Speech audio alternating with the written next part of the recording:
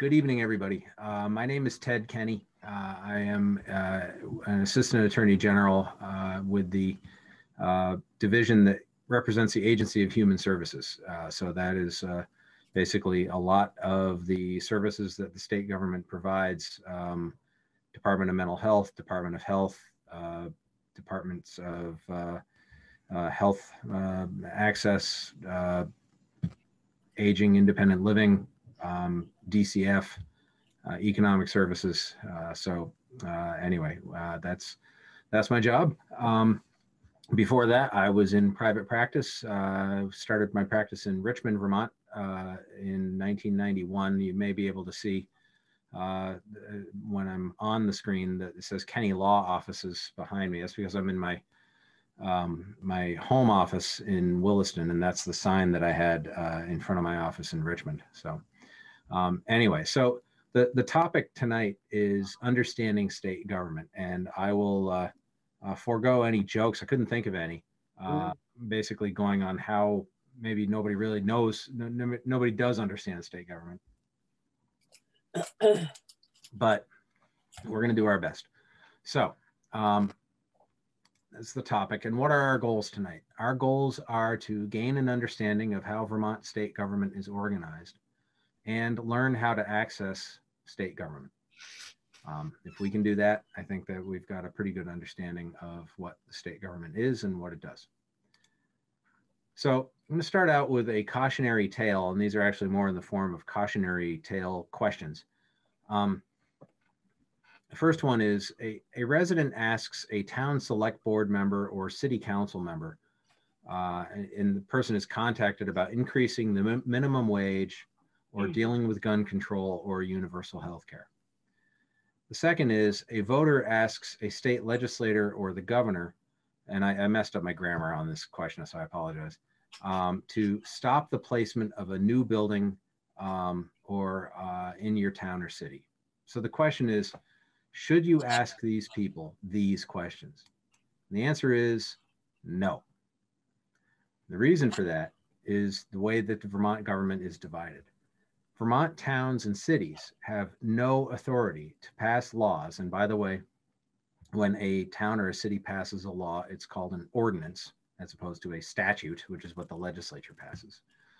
Um, but they have no authority to pass laws or ordinances that govern things like minimum wage or gun safety or healthcare coverage. And likewise, the legislature and the governor have no authority over zoning and development issues. So let's get into a little bit about why that is. Vermont is a Dillon's rule state. What? That comes from a, a, decision from the early 1800s, actually not in Vermont. I think Dillon was a Supreme Court justice in Nebraska. Um, but in any any event, this has become kind of a term of art. If you say Dillon's rule, everybody who does this kind of law knows uh, what that is. I'm a member of the select board in the town of Williston, and um, uh, about a year ago, uh, we had people telling us uh, you can't do that because this is a Dillon's rule state. And they were right. Um, Vermont cities and towns receive all of their legal authority from the Vermont legislature. Mm. They are they are entirely creatures of the legislature. They are uh, what's known as municipal corporations. And they're not corporations like General Motors or something, but they are in the sense that they are their own government, their own legal entity. They can sue and be sued. They can own land. They, they can do a, a lot of things like that. But they can only do those things because they have the legal authority that was granted to them from the Vermont legislature. Um, and cities and towns can only exercise power if that power is granted in express words by the legislature necessarily or fairly implied in or incident to the powers expressly granted, meaning it's obvious that it didn't say that they can do this, but it, the law wouldn't make sense if they couldn't, so obviously they can. And third, those essential to the declared objects and purposes of the town or city. So basically the, the deal is though, if it's if it's not in the the the law that creates the the um, the law that creates the town or city, then just assume it's the town or city doesn't have that authority. So what are the general powers of cities and towns in the state of Vermont? What they can do. they can enact zoning laws. Um, what kind of activities, what kind of buildings can go on what land, whether you can put a gas station in a residential uh, neighborhood or whether you can put a uh, uh, farm in the middle of uh, downtown Burlington. Um, that the the town or city has the ability to create laws that govern that.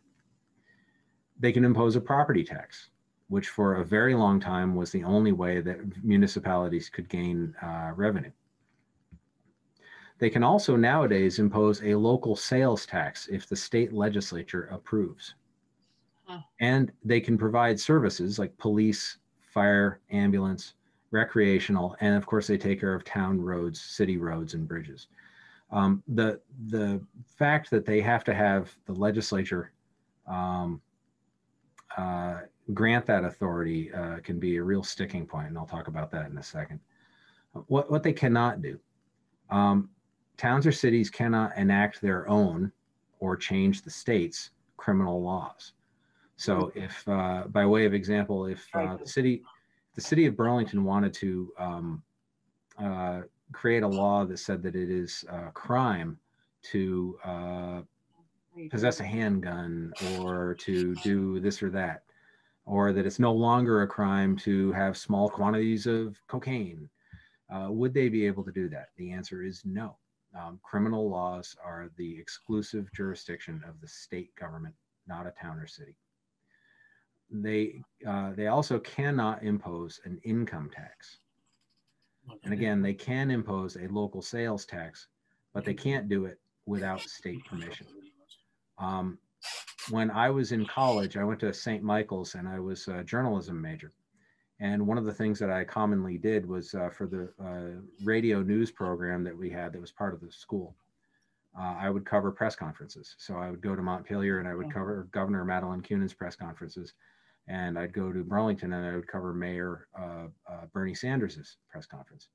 And I, one of my most vivid recollections was when uh, Bernie was very upset that the legislature was not allowing Burlington to impose a sales tax because back then, no city or town was allowed to do that. That's not the case now. Now the legislature will grant that power, but back then it never did. And I have a very distinct recollection of being in the mayor's office with all the other media and Bernie getting more and more angry and saying things like, to our friends in the legislature, where were you when? And that's he kept saying, to our friends in the legislature. And it, it, it I eventually the, that did happen, but I don't think Bernie helped himself by being uh, as, as uh, the way that he was. Mm-hmm. But that that's been an issue in the in the state for a long time. Now towns and cities are allowed to pass a 1% sales tax on um, goods and uh, rooms and meals. Um, and that's going to be a substantial amount of, of money. Uh, but they have to share that with the state too. So um, anyway, but at least at least it is a revenue source. So all of that uh, begs the question of what do you what do you do if you have an issue like the ones that I was just talking about where they can uh, do something. So the question, the, the, the answer is you contact your town or city government with issues concerning things like fire or ambulance or police services. And, and that would be in general, um, that you think they should have another ambulance or there should be a fire station or an outpost in your neighborhood or there shouldn't be. Um, that would be something you would call the town or city, either the executive, which in Burlington would be a mayor, uh, or uh, in most towns and cities, there's a city or a town manager, or your select board member or your city councilor. Now, that said, obviously, for uh, emergencies on these things, you don't call any of those people, you call 911. Um, you would also contact town or city government officials for things about the property tax, property uses, yours and others. So, uh, by way of example, if you wanted to put an addition on a house, or you were upset that your neighbor was building an addition on theirs and it looked like they didn't have the right that, that, it just seemed wrong they didn't have the right permits for it or something. That would be something you would call the town or city government over. You would never call the state on that because they wouldn't care because they don't have any power over these things.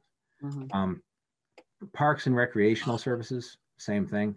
You'd want to contact the town or city on those kinds of things. Um, if you think the uh, uh, baseball field, you know, garbage cans need to be emptied more, or there are dogs running around on the soccer field, or there should be more swing sets in a in a park. Those are things that are going to be handled by the town government or city government, not the state government. Um, property taxes, property tax payments, property tax rates, things like that. Uh, an appeal uh, if the if you own a house and they they appraise it and say it's worth this much, so this is what your property tax is going to be and you think that they they appraised it wrong, um, those would be things that you would contact your town or city government uh, over. Um, other things, things like noise complaints, um, those are almost always in the purview of the town or city.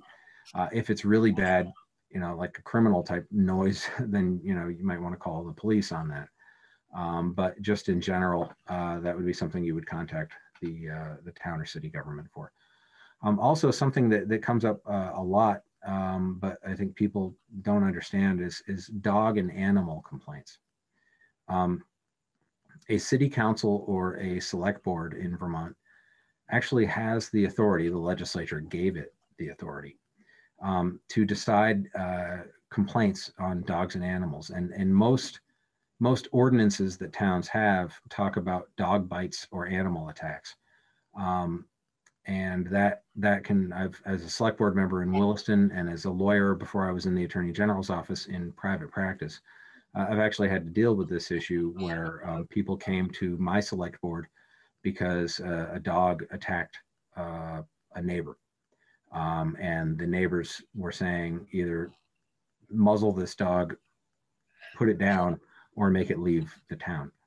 Um, likewise, I've represented people in front of uh, town governments when they've been attacked by dogs.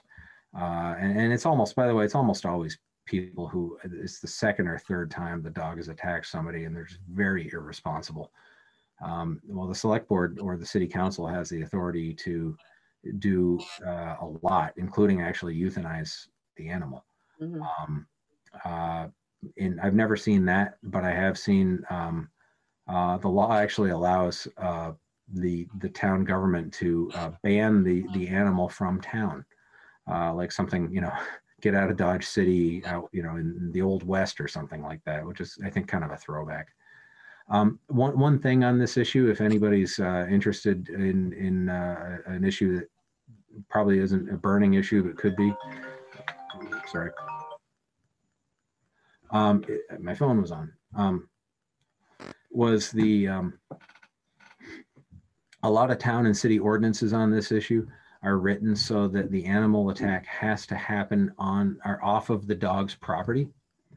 Um, and these days, uh, that we changed that in Williston, and I would recommend if anybody uh, has the interest to bring this to other people's attention, that they change it in in their town or city as well, because uh, these days, a lot of times, you know, not many people have picket fences or stockade fencing around their property. And uh, you know it's pretty easy to walk across somebody else's lawn. Um, you know it's that the town government should have authority over things like that uh, and most of them don't but they could if they just change their ordinance. But, uh, it's something that has kind of slipped through the cracks. I, I experienced this when a um, uh, an ordinance in Hinesburg actually was written in a way where the Hinesburg Select Board couldn't do anything about a really terrible dog attack uh, of a dog that was owned by extremely irresponsible people. Anyway, just that. Something else people should know um, public schools are run by school districts, and school districts are actually their own governments. Um, they are separate from the town or city that they are in. So, um, by way of example, the uh, in my town, the town of Williston, uh, before mergers used to happen, I was actually on the Williston Select, uh, the Williston uh, School Board. Um, the Williston School District was its own government. Um, it is not under the control of the town.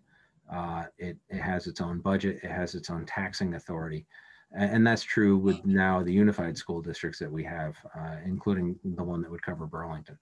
Um, so the city council and the, and the mayor's office, um, they, they may have influence and they might be able to do some things around the edges, but in terms of school policy, uh, that is that is the school board that uh, is its own government. And again, that's a government that was created by the legislature.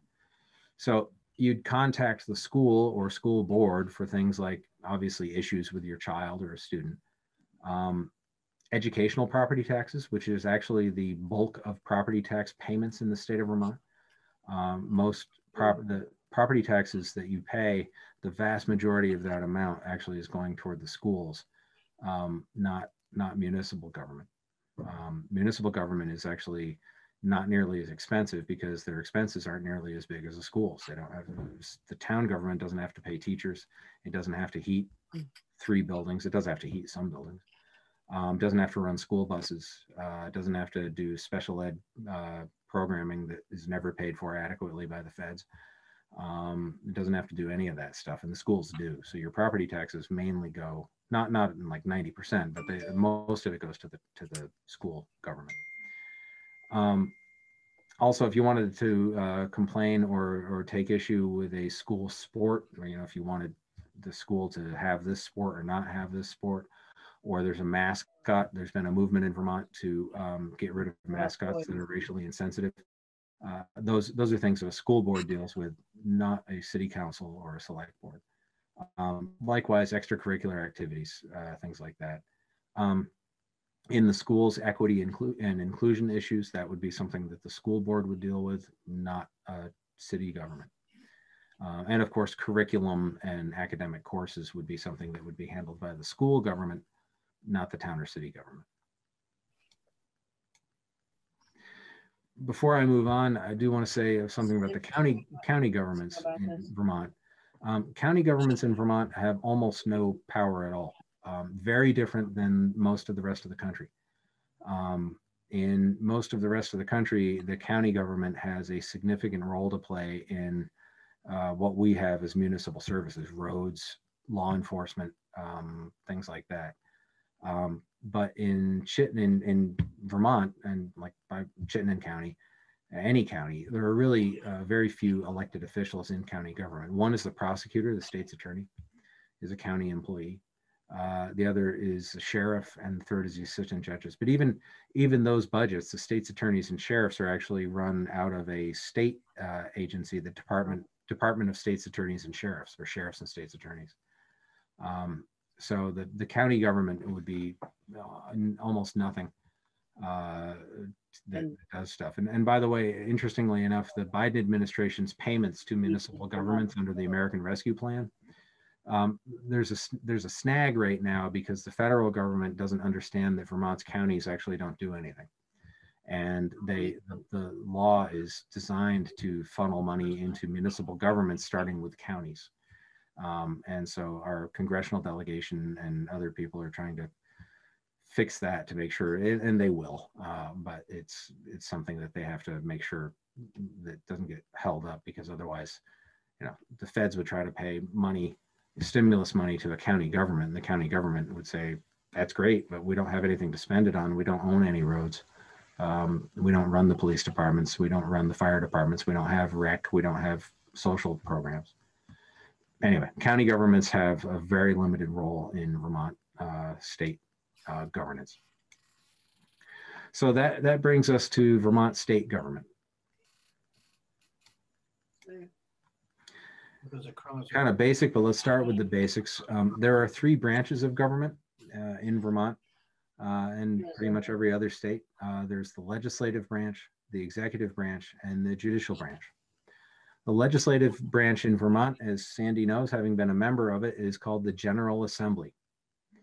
Um, the General Assembly is composed of two houses, the House of Representatives and the State Senate. Still a member of it. Um, they uh, both have to pass laws that would then go to the executive branch.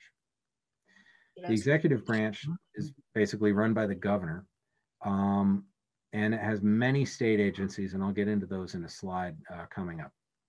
Uh, but it's uh, the agency that actually executes the law that the legislature puts in and, and runs the budget that the legislature approves the third branch, the judicial branch, is the branch that interprets the laws. And when we say interpret, it means uh, it can not only interpret it, but can actually overrule laws if they are unconstitutional, because that would mean that the judiciary is interpreting the Constitution, either the state constitution or the federal constitution. In Vermont, there are two levels of, of court. There's the Vermont Supreme Court, and under that is the Vermont Superior Court. The courts changed about 10 or 15 years ago, maybe a little bit less than that, uh, where there used to be um, Superior Court and District Court and on and on. And they just made that into one thing as the Vermont Superior Court with different divisions that basically do what the old system did. There's the Civil Division, the Probate Division, the criminal division and the family division. And I will get into where, where you bring your case and where you should go if you have a problem that you need to go to court over. The legislature in Vermont, the members of the legislature, both state senators and House members, are elected to just two year terms. Also, the legislature in Vermont is uh, part time, it meets for about half the year, um, which I think is a good thing uh, because uh, it keeps people close to the voters and makes sure that we don't have legislators who are more interested in keeping their jobs uh, than uh, doing the right thing. Um, the state senate is comprised of 30 state senators. Uh, each represents about 20,300 people in the state of Vermont. They're broken down mainly by county, but not completely. Um, the, the Senate districts are named after the counties where most of their district is, but they're actually generally different districts than that. Um, in the House, there are 150 members uh, of the House. And uh, so each of those House members represents about 4,100 people. Uh, by way of example, the town of Williston has about 10,000 people, and we have two uh, members in the House. Members of the House and members of the Senate are elected at uh, um, at large in their district, and that means that um, everybody in Williston votes for two members of the House, and um, the top two vote getters win. It's not like the people on the west side of town have one person, and the person on the east side of town have another person. If you're in a House district or a Senate district, then that is the um, uh, uh, then then you vote for everybody that way. Okay. So what does the legislature do? What power does it have? The legislature is empowered to make law, and that's subject to the governor's power to veto a bill, and it would be subject to the Supreme Court deciding that what they did was unconstitutional. But it is a massive power. And what I mean by law is the legislature can pass all laws. Um, they can decide what is or is not a crime. Um, they can decide the income tax and sales tax rates in the state. The legislature decides the social service spending and the budgets. It decides the policies governing how those services are provided. Um, it, it, only the legislature can amend the state constitution, which is the ultimate law in the state, although federal law always trumps state law. Uh, that was determined 100% with the conclusion of the American Civil War, mm. where the feds, the, the union won, and states have their rights, not uh, they don't ever trump the federal uh, uh, law. By the way, that that even applies to federal regulations. Um, so if a regulation is uh, created by the federal government and it's in contradiction to a state statute that the legislature passed, the federal regulation wins. The feds always win. Um, the legislature always has uh, also has the power to decide what a town or city can do use for its powers. Um, as I was talking about with the sales tax, that was something new. Um, there are other things that uh, the legislature will, there's a process that the towns and cities go through to, to amend what they can and cannot do or ask the legislature. Um, it's called a charter change. Each town or each city's laws that the legislature legislature creates these uh, is called a charter, and um, they specifically say, you know, the city of Burlington is allowed to do this. The, they're more fancy and legal than that, but that's the idea. The town of Milton can now impose a sales tax or whatever. Um, the governor can stop the legislature's laws from coming into effect if he vetoes, he or she vetoes the uh, the law. Um, that would send it back to the uh, legislature, but the legislature can have the final say. Um, the governor's veto can be overridden by a two-thirds majority in favor of overriding it, but that has to be two-thirds in each house, both the Senate and the House. uh, not cumulatively, but you count the votes in each uh, chamber. And if two thirds override it, then that's the way it is. I think the most famous example of that in Vermont was when Governor Jim Douglas uh, vetoed um, the gay marriage uh, law. And it went back to the legislature, and the legislature overrode his veto, and it became law anyway, even though the governor didn't sign it.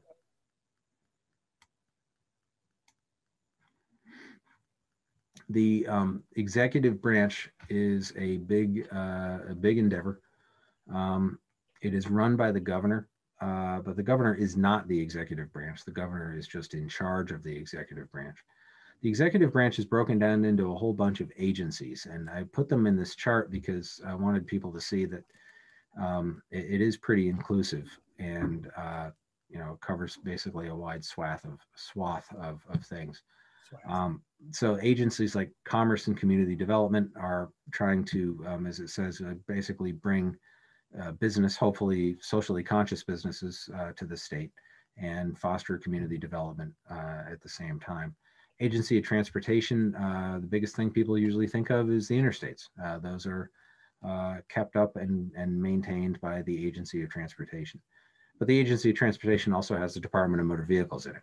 So if you if you had a problem with your license, it's the DMV, uh, but that's under the Agency of Transportation. And actually, I have Agency of Transportation in there twice. Sorry about that. There's only one. Um, Agency of Natural Resources is in charge of protecting the natural resources of the state. Um, they often will bring uh, cases against people who are violating a state law or their own growth permit um, by you know discharging you know, water where they shouldn't, or building where they shouldn't, or building on a wetland when they shouldn't do that. Uh, a lot of that is going to be handled by the Agency of Natural Resources. Um, Agency of Agriculture, Food and Markets is really just mainly in charge of uh, agricultural uh, endeavors in the state to try to help farms. And farms these days, as I'm sure you all know, aren't just dairy farms. There's all different kinds of uh, agriculture out there. Maple syrup actually would be part of part of that. Um, the Agency of Education is uh, in charge of obviously educational quality in the state, um, although uh, a lot of that is handled at the local level by the school board. Agency of Digital Services is actually just the computer, the people who uh, run the computer system for the state. Um, that is its own agency now. And the last one is the Agency of Human Services, and that that is that is huge. Um, that includes the Department of Mental Health, the Department of Disabilities, Aging and Independent Living. They're in charge of making sure that people are safe in nursing homes. Uh, they're also in charge of providing a public guardian for uh, adults who don't have anybody else to run, uh, a disabled adult who would not be able to run their, their affairs. Um, they, they, have a, a, lot to do. Department of Corrections, um, uh, is actually part of the Agency of Human Services. That was uh, the idea was that uh, that would make it a better chance for it to be rehabilitative. Um, uh, I'll, I'll leave it to people in their own opinion whether that worked or not.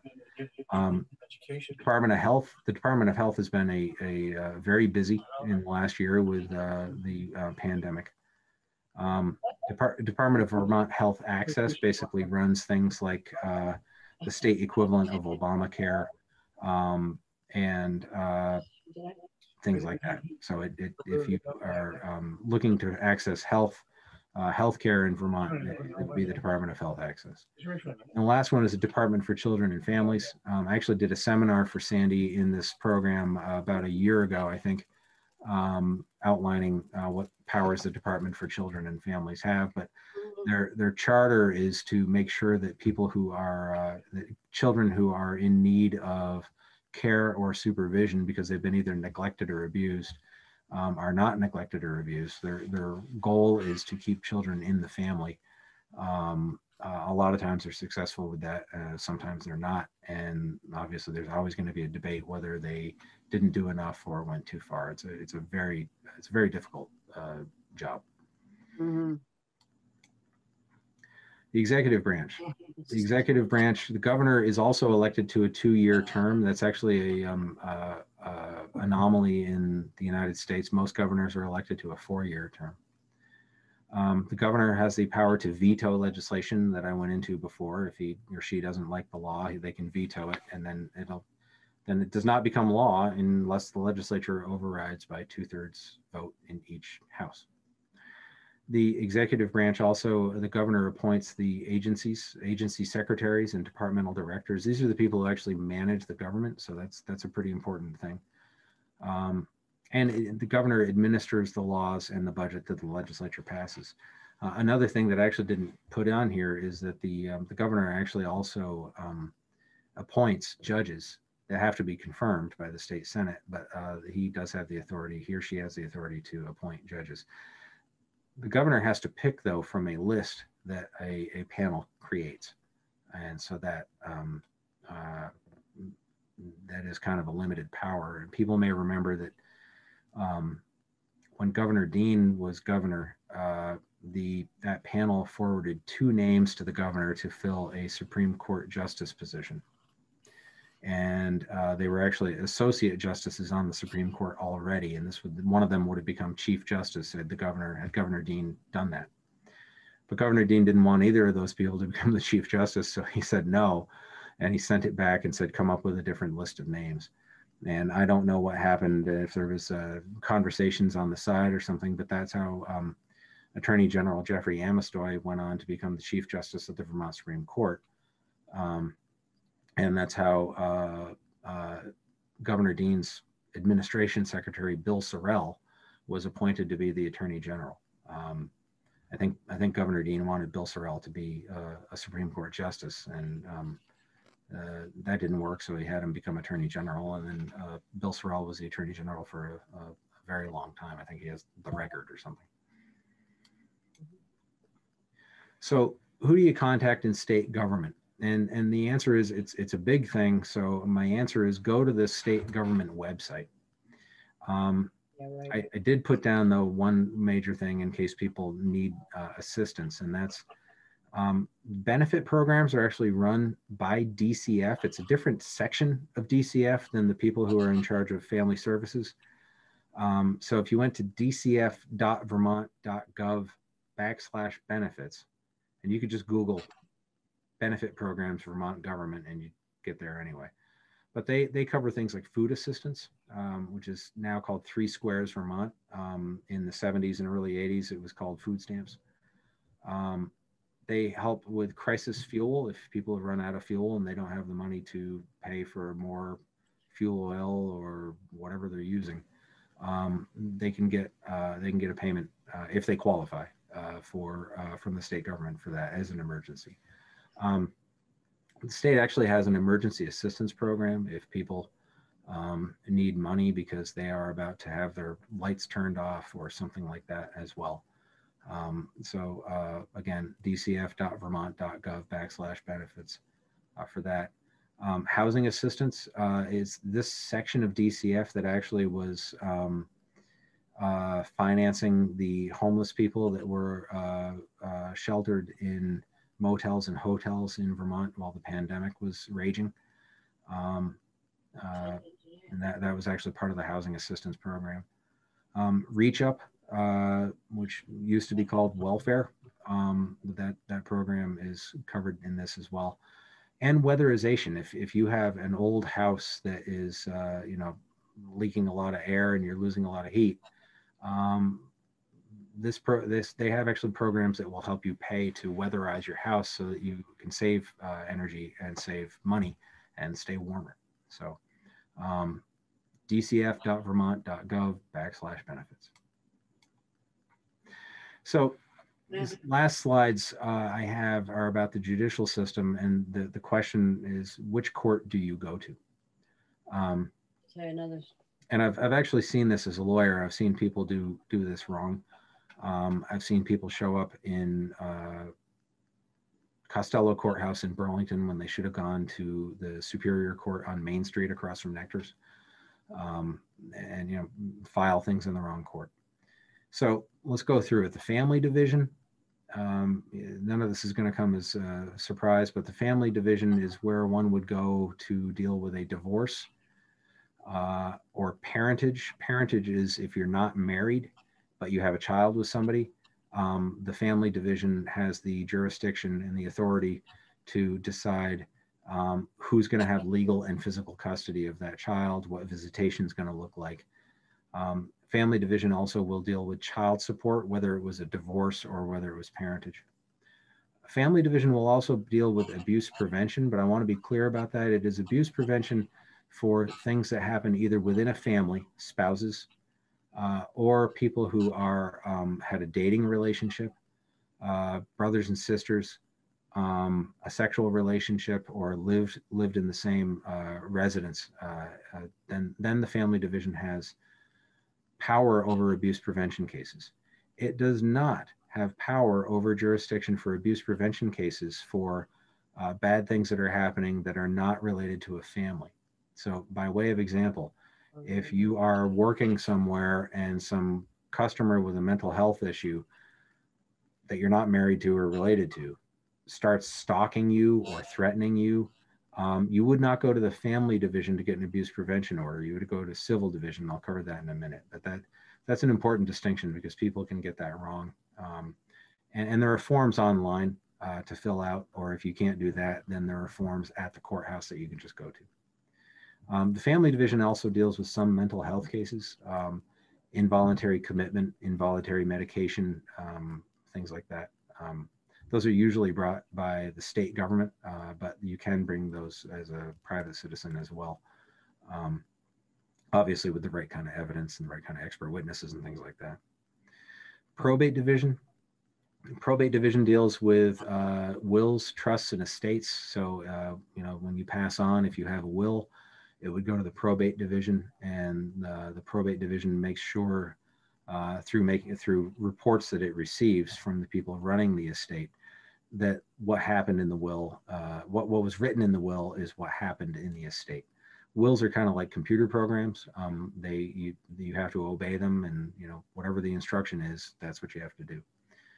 Um, they'll also deal with guardianships for disabled adults and guardianships for for children. I should have put that in, um, uh, because you can get a guardianship in uh, for a child in that, and there are actually contested guardianships over children. And I've been in contested guardianships for disabled adults where more than one person comes forward to try to become the guardian for somebody who is developmentally disabled. Um, uh, but that's uh, that's where you would go as probate division for that. Um, probate division also deals with name changes. If uh, you wanted to change your name, either first or last name, uh, it's the probate court that has the legal authority to say, okay, this is now your legal name, and whatever it is. Um, it does have some child-related uh, uh, cases. Actually, I did cover guardianships up there a second ago, but um, there is such a thing as a private termination of parental rights. Um, it's rare as hen's teeth, uh, but the probate division does have uh, that authority. And um, I've, I've seen those cases. They're just not very often. Usually, a termination of parental rights case would be because there's an abuse or neglect case uh, in, in uh, the regular family division. Finishing it up, the civil division uh, in Burlington, that would be, as I said, the Superior Court across from Nectar's. Um, that uh, that deals with personal injury cases. If you've been injured in a car accident and uh, you can't get the case settled, that would be where you would bring your case, or probably your lawyer would bring the cases in civil division. Um, and then just general things, breach of contract. Uh, somebody agrees to paint your house for three thousand dollars or five thousand, or whatever it is, um, and they don't. Um, you would sue them in civil division. Um, as I indicated before, non-family abuse prevention cases, so uh, stalking, um, uh, threats of, of sexual violence uh, from people who are not in a relationship uh, would be handled in civil division as well. Um, boundary disputes, um, if somebody thinks they own this parcel of land, but somebody else says, no, the boundary is six feet over and whatever, uh, I, have had those cases. Uh, I came up with this phrase, I think, uh, that uh, boundary disputes are the child custody of real estate law. Um, they, they are usually fought out tooth and nail uh, with surveyors and uh, looking through ancient records and stuff. And, and oftentimes it's over stuff that isn't worth fighting over, but I don't know if it's instinctive, but people seem to fight over where a boundary is more than otherwise. I'd recommend don't unless it's super important. Um, real estate disputes. uh, such as uh, if somebody owns property or not. Um, that's again rare, but I have seen those cases. Uh, I've been involved in them before. Um, and business disputes, things like a, um, a corporation. Um, uh, if uh, and usually in Vermont, they're small corporations with like three shareholders uh, who own it, who own a store together or something like that. Uh, if there's a dispute between the owners, the shareholders, then that would go to the civil division for, for resolution. Um, last is criminal division. I just wrote the word don't. And the reason I did that is because the, the only time you go to criminal division as a citizen is usually almost always if you've been accused of a crime. The only other thing would be if you're called in as a witness. Um, I, have been a lawyer since 1991. I was actually the president of the Vermont uh, Association of Criminal Defense Lawyers, and I did a lot of criminal defense. Um, I can't tell you the number of times I heard people say either, well, they said they're going to drop the charges, or can we press charges? Um, that you hear that on TV a lot, but it's it's a bad phrase because nobody presses charges. Nobody drops charges criminal charges are brought by the state of Vermont. The government of the state of Vermont is the only entity that can bring a criminal charge or dismiss a criminal charge. And, and that even includes if, and it doesn't usually happen, don't get me wrong, but if the victim does not want the charge prosecuted, it's not up to the victim. The victim doesn't have a veto uh, to say, you know what, I don't want it prosecuted, so don't do it. Um, if there is other evidence um, of the crime, then the prosecutor is very likely going to go forward anyway, unless you know there are other human and humane reasons which are taken into account. It's not a it's not a terribly it can be a terribly vicious system in Vermont, but it, it oftentimes is not. Um, the only th- other thing on this is uh, I used to get people saying, well, you know, I'm I'm I'm going to the police because I'm going to have him charged with harassment, mm-hmm. or for that matter, I'm going to sue somebody for harassment. Um, I'll say it this way there's almost no such thing. Um, you can bring somebody to court for uh, um, if they're stalking you or they're threatening you for real. Um, or not not just if you feel threatened and you're you're kind of weird that you shouldn't feel threatened but somehow you do then that, that's not going to work uh, but that would be the civil division um, likewise there are things that you can sue somebody for for uh, intentional infliction of emotional distress. That would be kind of a harassment thing. Um, all, very hard to win those cases, extremely hard. Um, even negligent infliction of emotional distress is an extremely hard case to win. Um, but in terms of criminal law, there, there are things like disorderly conduct. Uh, there is a criminal stalking charge, but again, that would be the state's attorney. But um, the fact that somebody's being uh, unpleasant and rude and obnoxious and uh, whatever, um, it's it's not a crime uh, in the United States unless it crosses this pretty significant line. Um, you know, somebody threatening you and yelling at you and, and raising a fist, sure, that that sounds like it could actually be an attempted simple assault. Um, but somebody standing on a street corner and uh, loudly proclaiming their political view um, or telling you that you did something wrong uh, in a business dealing with them and getting aggressive and angry. I, I don't mean physically aggressive, um, but emotionally aggressive. It's just not a crime. So criminal division, don't. Um, so uh, that that is the uh, conclusion of my my PowerPoint. Um, so uh, Sandy, I'll, I'll, go over to you on this. Do you uh, uh, do you have questions? Do we open it up? Um, yes, you can uh, open it up. And I do have a question and a, a, comment. Thank you, by the way, very much. That was very uh, educational for me. I do have a question about uh, the jurisdiction of local governments. And I also want to say that in the probate court, I believe you, you um, maybe we forgot one of the main functions is adoptions. Oh my goodness, that's right. Um, and, and, a lot of there are a lot of adoptions, of course, that do take place in the state of Vermont. So yeah, you know, that's the, where you go. Sandy, the terrible thing about that is uh, my my two daughters are adopted. Yeah, I went to probate court yeah. for that. So um, yes, I uh, I have I have the paperwork still. So yeah, you're absolutely right. Should have covered that. Um, because mainly because it's more and more important, I believe, especially with many new Americans coming into the, the state that yes you know, anyway, so thank you though. Yep. Uh, okay, I was involved in a case a number of years ago where the city passed an ordinance that said that the police had the authority on Church Street to go on to Church Street. And if they found that there was a nuisance being committed on Church Street by a person, that they could tell that person to get off Church Street and essentially exile that person without a hearing, without any further ado, really. And so essentially they were being exiled, which is a form of punishment in my mind, um, without any kind of a hearing, without any due process. And that was this, uh, that was an ordinance. So how come the city? Okay, so based on that, there were a number of us who went to court to the Supreme Court and argued that it was unconstitutional um, and the court decided that, well, it could be unconstitutional, but Sandy Baird and Jared Carter did, don't have any authority because they have no standing to sue.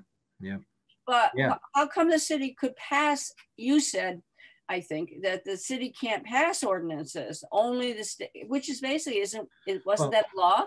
They can, the city can't pass a criminal law. Well- Make an ordinance into a crime. Um, I, I- it could be, uh, and again, as I think the Supreme Court would have said, you know, that depending on the effect of it, that could be basically a de facto criminal Yeah. law. Mhm. Um, but uh, it sounds like they never got to that point. The the counter to that, I don't, and I don't know the answer to your question, but I, I can Well, we got booted out right away because of standing. law. Yeah. Um, yeah, and that that sounds bad. Um, and it sounds like it was bad in that circumstance. Standing, uh, though, do remember that's that's why uh, Texas wasn't allowed to sue all the other states that voted for Joe Biden. Right. Um, right. They didn't have standing to do that Right. either. Um, I understood the argument yeah, and and in fact we did not bring up the argument that that the ordinance itself was passed without real authority we brought up the argument that it was unconstitutional because it did not afford due process to the people who are going to get booted off so maybe we just brought up the wrong argument it could be but anyway maybe. Um, Yeah. I um, it's that. Yeah, uh, you know that's the law. That happens in law. So. Yeah, uh, and the other thing is, is when you're talking about taxes on a local level, that that means in effect, right, that a local that in the state of Vermont is not a home rule state. Right. Correct. That that. True. But do some states have home rule in their municipalities? Yeah, um, they do. I, I don't, I wouldn't swear to this, but I'm pretty sure that actually New York has a version of that because um, New York City can pass uh, different gun control measures that make it a criminal offense. Really? Uh, New York City has an income tax, um, but I suppose I suppose Vermont towns and cities could have an income tax if uh, if the legislature gave them. and I know they could. If the legislature gave them that authority, then they could do that too. Um, but yeah, there are home rule states. I think it's I think it's uh, fewer. Um, you know, the the the interesting way that I, I view it is um, that, uh, and and I used to say this in court when I was talking about uh, search and seizure cases where a search warrant did or did not do something.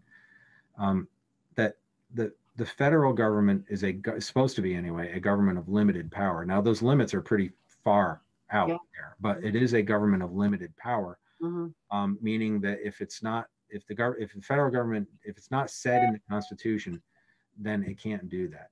Then it can't do whatever. Now again, that that is interpreted pretty pretty far and wide. Mhm. Um, but that is the concept. State state governments are uh, the um, the sovereigns, meaning like the royalty, literally, um, in in our system, meaning that a state government can basically do whatever it wants um, because it just has inherent power, like a king would, but it's limited by its own laws and its own constitution. Um, so, and and don't get me wrong, I'm not saying well the uh, state there's no state law saying police can't go uh, seize cups of coffee from people. Well, yeah, there is. Um, the police are that would be theft. That's a crime. They're not allowed to do that. Mhm. Um, but but the idea is that uh, a state government can do uh, whatever it wants as long as it's not unconstitutional and as long as it doesn't violate um, rights. Um, which again can be even things that are not written in the Constitution, the substantive due process, their mm-hmm. rights to privacy are, are things that are, there is no constitutional amendment like free speech that says you have a right to privacy, but it does exist. Um, yeah. It's, it's a, it's a, um, uh, uh, uh, substantive due process uh, right. Mm-hmm. Um, but uh, towns and cities uh, are, you know, they are completely creatures of the state. Right, um, right. So they they can only do what they're allowed to do, unless it's a home rule state. And then my understanding, and I'm not a lawyer in any of these states, so I wouldn't I wouldn't bet my license on it. Uh, but uh, a lot of uh, those home rule states, I think the idea is that the town or city can also kind of act like a state government and do if it, if it's not if it's not illegal, then it can do it. Um, I guess I have one final question. If it's a if the town um, or a city is the creature of the state, could the state uh, dissolve a town? Yes. Wow. Yes, good. Um, and um, uh, you know, I mean, it, it it's created towns. Um, you know, it it's.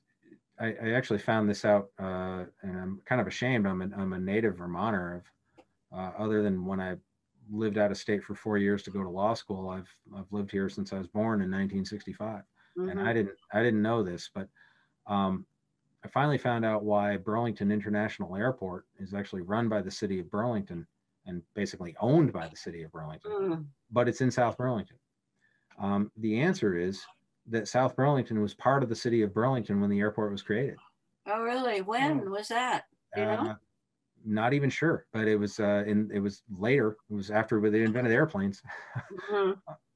and that uh, and actually it was that was one of the things is South Burlington was allowed to go and create its own municipality, um, mm. its own corporate uh, municipal corporation of the, I believe it was probably a town at first. Um, but, wow. um, uh, but the deal was that Burlington got to keep its airport. Uh, mm. and by the way, that actually is historically where the South Burlington school mascot was the Rebels because yeah. they were seceding from Burlington. Ah. Um, so uh, that that mm. was the the thing. But I think that was actually even as late as the 1940s. Um, likewise, uh, Winooski used to be part of the town of Colchester. Um, and I er, in the in the early 1990s when I would do a title search in in Winooski, um, there were times when you would have to you have to search a title back 40 plus yeah. 40 years plus uh, to make sure that somebody has good title. Mm-hmm. And there were um, titles where you could get back to like 35 years in the city of Winooski. And then the next reference in, in the deed, in the old dusty book that you pulled off the shelf, um, was a reference to a land record uh, volume and page number in the Colchester land records. Mm. So you'd have to drive over to Colchester, and they uh, they were they were used to this. So they would you'd tell them, and then yeah, okay, those books are over here, and you'd look, and sure enough. But um, yeah, so I mean that towns towns and cities uh, divide off from each other. Uh, so I think the implication would be that the legislature could could dissolve a city. Um, I you know I again I, I can't okay. imagine that it actually would just on a whim or to you know punish uh, punish the residents of a town or something like that. I mean, the, in that case, by the way, that's where the gores come in. Remember Buell's? Yeah. What's what is a gore? A gore is an unincorporated um, uh, municipal area, meaning it does not have a government. And the governor appoints somebody to be the administrator of Buell's Gore, um, of Gore. The, the, one that I'm thinking of is Buell's Gore, which I think is near Huntington. Um, and uh, that administrator actually acts in many large part as a um, uh, as the town government. Um, in the Kunin administration, before he was on the Supreme Court, uh, Governor Kunin as a, as a joke, and it was actually funny. It, it, sounds like it might be insulting, but it wasn't taken that way at the time. Um, uh, made um, John Dooley, her administration secretary, the uh, leader of Buell's Gore, or whatever the title is for that. And um, he had uh, all kinds of funny quotes that he, you know, rode out to his territory and surveyed his property and all this other stuff. He was a medieval feudal guy or something. And again, it it played well at the time. It probably doesn't sound good historically, but um, but Agor Agor is administered by um, the the state government, I, I believe. Mm-hmm. Thank you. Thanks. Sure. Any other questions here? Any other questions?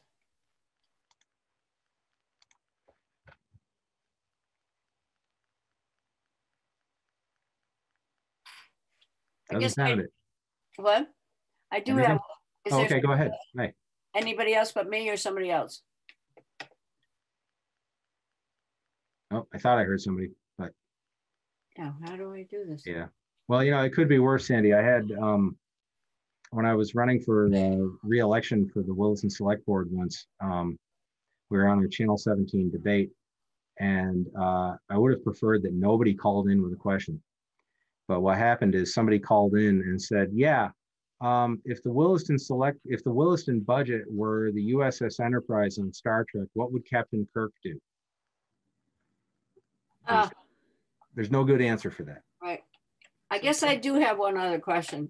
Okay. So um, I've been very concerned this COVID year because town halls are closed, city halls are closed. We have no access to the city government right now at all. I guess uh, somebody doing a title search might be able to make an appointment, but in effect, public meetings have been halted. Um, and I'm wondering if, and also the legislature was did not meet. The most serious thing to me that happened, uh, of the course, though, was that town meetings did not happen. Yeah. And that there's now mail-in ballots, which defeats the whole purpose of town meeting. And I'm wondering, is that some kind of a constitutional violation? Will town meetings return to public meetings, face-to-face meetings? Or do you have any opinion, or should I I wouldn't, I wouldn't have a, a legal answer for you. I do, um, you know, that I would say that the, um, town meeting has been, uh, more and more difficult to pull off as towns have grown. Um, Mhm. Williston has a town meeting. We, you know, there are about ten thousand citizens in Williston, uh, who are residents. Um, which is interesting because during the day, there were over twenty thousand people in Williston. Um, but, uh, our town meeting, it, it does exist but the the things that are actually voted on from the floor are very very limited. The budget is not. Uh, the budget is uh, australian battle ballot uh, the Mm. next day. Uh, and it's been that way for a very long time. Um, so i you know i, I don't know what, what the future holds. I do think it's either brattleboro or one of the bees i think it's brattleboro but it might be bennington um, has uh, experimented with representative town meeting Mm, and what that means is that you, um, uh, they, they section the town off and certain numbers of people uh, volunteer to, you know, uh, be voted on, basically elected to be their neighborhood's voice at town meeting. mm, Um, and that, you know, that that's an interesting combination between representative democracy and Right. pure democracy. Uh, I think that there actually is a, a way where people can just go anyway, uh, and and just if they want to go, they can go. mhm. Um, I, I grew up. Uh, the, one of the earliest recollections I have was the very last town meeting in Richmond. I grew up in Richmond. Um, that was actually at the Old Round Church. Yeah, I, I have a very distinct recollection of that. It must have I must have been three or four or five years old, um, and uh, you know after that it finally went up to uh, Camel Middle School, um, and you know after I got out of law school I was on the board of civil authority, so I would help run the town meeting, and it, it really uh, it town meetings are really good. I mean I remember a, a couple there were a couple issues in in town meeting in Richmond that I was really worried that the emotion of the issue would carry the day. They they involved funding of uh, the ambulance, um, and it didn't. Um, the people people talked about it and they stated their opinions, and then there was a vote. And um, you know, in, in my opinion, the thing that was more common sense than that was less emotional actually carried the day. So Mm. um, I I you know voters voters at town meeting can generally be trusted. There there are times when it could be hijacked by a bunch of people who show up who live in the town, but then again, they live in the town. They're voters. Right. What are you gonna do? exactly, exactly. Um, yeah, but I, I don't know what the future holds for that. It's it's uh, something that should be addressed. Okay, well, thank you very much. I wonder if there are any other questions?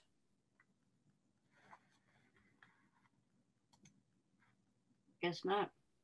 Yeah, actually, there are Oh, no. questions in the um, actually there are questions in the chat. Um, so let me let me read them off. Uh, there are two. Um, regarding allegations of criminal activity by a state official, does the attorney general defend the state official, or does the attorney general prosecute the state official, or does the attorney general have to co- a conflict of interest? Um, actually, there's there's a statute that the legislature passed uh, directly on point on that. Um, the answer is that the uh, well, it depends. It is, a state official could be prosecuted by a state's attorney. It would depend on what the crime is. Yeah. Um, like a, you know, uh, actually, we had a um, auditor of accounts uh, about eight years ago who got a DUI, and he was prosecuted by the Washington County State's Attorney. Um, other things like that that would be more in the purview of the Attorney General's office. Probably not necessarily a conflict of interest. It would depend on the facts. But there's actually a statute that the legislature passed that said that um, if you are if you are a state government employee and you are accused of a crime that involves your state job, then um, you are actually defended by the public defender's office. Wow. Um, yeah. Um, and uh, yeah, so uh, but it, there could be a conflict of interest uh, if you know depend on the facts. Um, but there is there is a um, statute that uh, addresses most of most of that scenario. So um, next question: Towns can put advisory questions on ballots even though they cannot become law. What power do these vote uh, do those votes have? Um, that that's basically it. The the towns can put advisory things in. Um, uh, on town meeting day. And um, they basically are exactly that. They are advisory to the legislature, um, but they're no um, no legal authority. So uh, I, I've seen that where the town, um, actually the wording in, in a town meeting in Richmond when I was in college uh, said that the town the town instructs our members of the legislature to and whatever it was. And um, there was a huge debate over the word instruct because the town can't really instruct the town the state representatives to do anything because they're independently elected by the voters. Um, your your uh, power over people in the legislature is at the ballot box and short of that not much else. Uh, but the but you know again it would be pretty if if a town meeting voted to uh, um, you know advise uh, a rep, a representative or state senator um, that the town's position on something is X Y Z, um, you know that that would certainly have sway over the uh, state senator or representative. It may not may not carry the day um, because again they are elected on their own uh, in their own right. Um, but the the answer about what power uh, it has no power, no actual power. Um, persuasive, but not powerful. Great.